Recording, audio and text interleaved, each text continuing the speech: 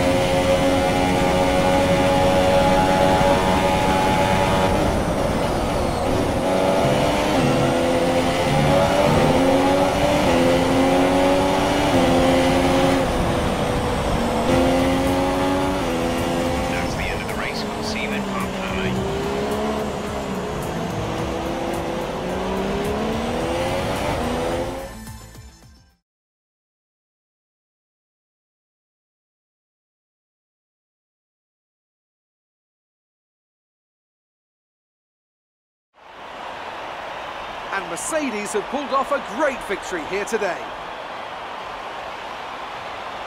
Anthony, what do you think made the difference here? Well, I think the track conditions just really suited their car today. Wind, track temperature, you name it. These cars come alive when the tyres are just at the right temperature. So the more easily you can keep them there, the better your race tends to go. And that's exactly what happened. Their car just looks so comfortable out there. And here are our podium drivers today after that excellent race. They've excelled here, as they so often do, and it's a well-deserved victory. Mercedes, then, are on top today.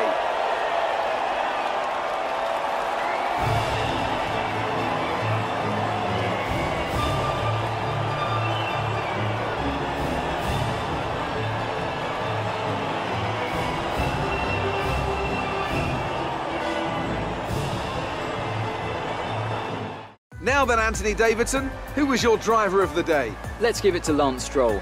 That was a quality drive from start to finish. He can be proud of that one. That's it for today's Grand Prix, and from Ant and I, it's goodbye, and see you again next time.